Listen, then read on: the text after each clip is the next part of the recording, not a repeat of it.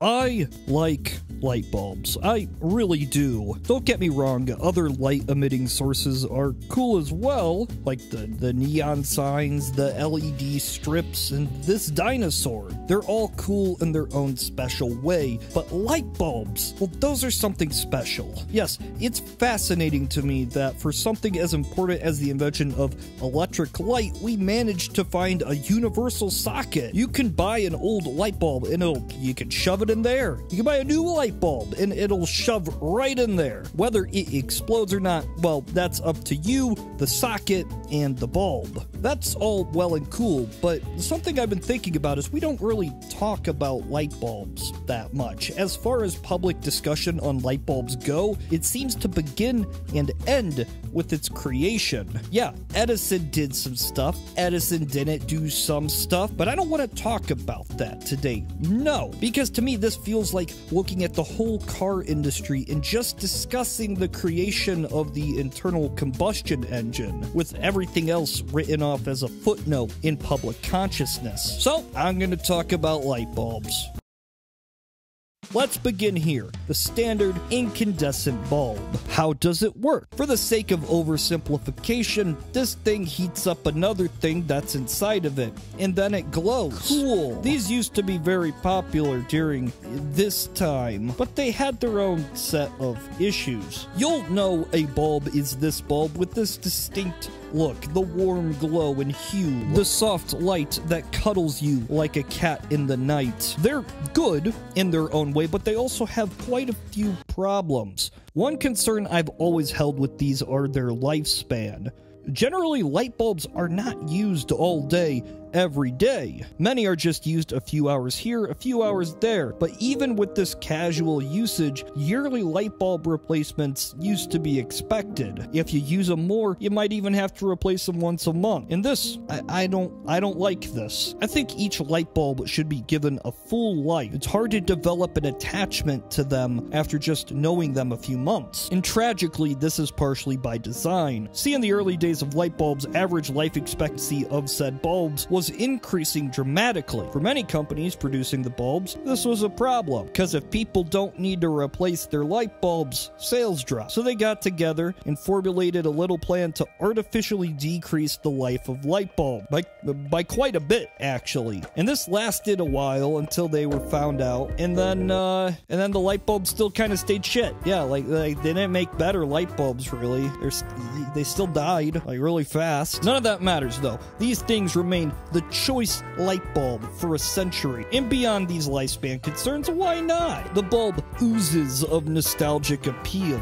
Ooh, ah. And I know what some of you might be asking why do these bulbs look different than my bulbs? Is there a quantifiable measure of which bulb is better? Yes! Yeah, yes, there is. But before we get into all that, it's important to note what light itself actually is and how you perceive it. What we recognize as light is photons moving through the electromagnetic field at wavelengths within uh, this area. There's light within smaller and larger wavelengths, but it's not visible light. You can't see it. You can't see it. Like a rat might be able to see a radio wave. I don't know. I didn't look it up. So within these wavelengths, th these are the colors. If, if the wave's this big, it's going to be that color. And objects are given their own color from light reflecting off of their surface. Some surfaces prefer to reflect more of this wavelength. In this case, it would be red. Some reflect all the wavelengths at once, making it this this this whitish color called white. And if it doesn't reflect that many,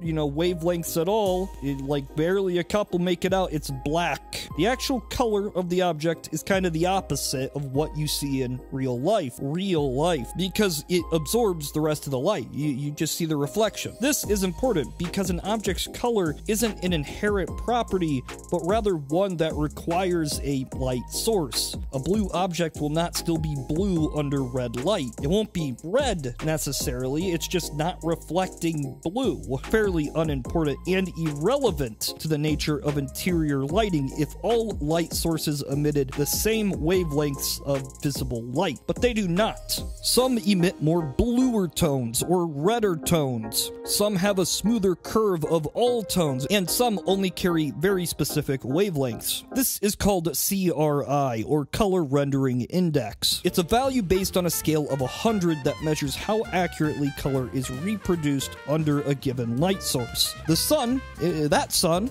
it carries a perfect score, which makes sense when you consider that it's the basis of what your eyes are developed to see. A poor CRI will result in lower saturation or odd colors. The overall appearance of these lights is generally unpleasing and not ideal in the home, since everything actually looks worse than real life. That sounds weird, but it's true. Now, just because a light looks red or blue doesn't mean it's necessarily of a lower quality or is missing the other wavelengths. This can just be derived of the coolness or warmness of the light, its color temperature. Here is a chart of color temperatures. These values are measured in Kelvin, which is weird because Kelvin is a measure of actual temperature. Why is this? Well, these would be the colors that would be emitted at these temperatures from a material that perfectly absorbs all waves of the electromagnetic spectrum. Simply put, if a very dark thing would be heated up to this temperature, it might look like this. For mass produced interior lights, this can vary from 1500 to say 9500. Now, most people prefer warm lights for home use, and cooler lights can offer a more energetic tone. Of course, not all lights are as bright as other lights. The brightness is measured in, well, several ways, but the one we should focus on is lumens. This is a measurement of how much light is emitted in all directions. 800 lumens is fairly standard in the home, which isn't an essential detail to know, but a fun fact. And the energy required to light up a light bulb is called watts. What you want to see in a good energy efficient bulb is lower watts and higher lumens. And this will be pretty important as to define the evolution of light bulbs going forward. It also would be the one fatal flaw of incandescent bulbs. They are not efficient, and this makes sense based on the very nature of what they do to produce light. Using heat as the source for that light means most of the energy is, well, it's turned into heat and not light. This means they were fairly expensive to operate on a large scale, especially in large offices or factories, any interior place that has a lot of room. The solution to this was a new kind of bulb, one that would garner a fairly strong reaction from the general public the fluorescent light. Yes, especially in the later half of the 20th century, these things were pretty much everywhere, everywhere that wasn't the home. They're weird, I'm not gonna lie. They function by containing a mixture of various gases and vapors that light up when an arc goes off in the little tube. The specific elements, gases, and design processes used will drastically change the light output, and this means that they can either be pretty good or disgusting. At first, they were primarily used as just industrial or commercial lighting systems. They weren't really designed for home use. They were big, expensive, but in the long run, they would save you a lot of money. A fluorescent light uses about one fourth the energy of traditional incandescents, and combined with the fact that they can light large areas up easily, they were the ideal for factories and office spaces. After all, saving 75% on an electric bill sounds pretty appealing, especially if it's an expensive electric bill. They could also last up to 10 times longer than traditional incandescents, so even if those initial costs were higher, it was economically sound for companies to invest in these rather than these. Problem was, though, well, the early fluorescents weren't all that great. I mean, just based on how their design was, you would see problems the moment you flip the switch. They have to warm up. The gases inside need to heat up to produce this good amount of light. And before that point, well, it's it's kind of this weird, it's almost a light. This can be pretty irritating if you need light now, which wasn't too concerning for factories and, you know, offices, but in the home, it is a, little weird. The arc inside also can give off a slight hum, a noise that's very noticeable if you're right next to it. Listen to that. Can you hear that? That's that's the sound a light bulb makes. But they weren't just superficial issues like this either. Unlike incandescents, fluorescents often don't produce a smooth CRI, especially cheap or older ones. What this means is that less colors are actually being emitted, less potential for those reflections, and everything looks desaturated and weird. It also didn't help that they might strongly give off a blue or green hue so everything was desaturated and green. To add to all of it, these contained mercury. It's a substance that you, you already know it's it's lethal. If one of these tubes break, well, it's a lot worse than a normal light bulb breaking, and you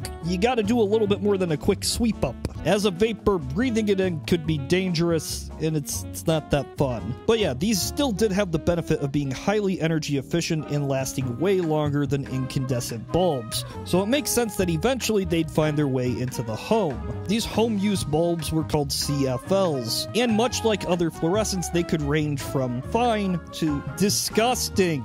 You gotta think, the big appeal of these things was that they would save you money, but the initial purchase was still fairly expensive, at least compared to a normal bulb. This means a lot of people going out and buying CFLs would go for the cheap options. These cheap bulbs suffered all the problems of fluorescent lightings far greater than the expensive premium bulbs. Now, we often have a stigma that these are green or blue or, you know, bright white bulbs, but that's not necessarily true. You could get a cool toned or a warm toned bulb, but most factories and offices would always have that bluish hue. Now, this was mostly just to encourage worker productivity under these lights, because it's hard to get tired when the lights are, are blaring in your eyes. For most, this was the first and main impression they had of these bulbs, though, so they never would go out and buy them. Over time, color accuracy and some of the other issues were improved, but customers were not won over. I mean, they suffered from a number of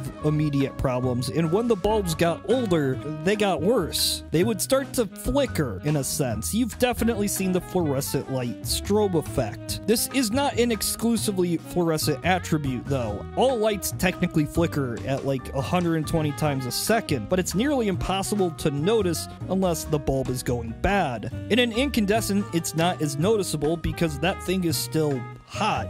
It's not changing brightness that much even if power isn't always getting to it. But in a fluorescent, the arcs just keep shooting and it looks, ah, geez. Now LEDs can actually do this too, and I have a LED that is uh it's doing that. So I guess that issue's back. Now fluorescent bulbs mostly gained popularity and notoriety in the mid 2000s. See, we saw the big save the environment push going around at this time, and every major institution seemed to be pushing for the most environmentally friendly option. Now, the issue with these is, well, it was more complicated than energy efficiency. They, in themselves, contain dangerous, hazardous materials. But regardless, they were seen as the best option, and some countries began outlawing the old incandescent bulbs. And people were worried. Nonetheless, these bulbs never actually took over. People stockpiled old bulbs in case a ban was to go into place, a somewhat futile effort since these would have such a short lifespan anyway. Many just did not try CFLs in the home, since the only fluorescent lighting they knew was from offices and grocery stores.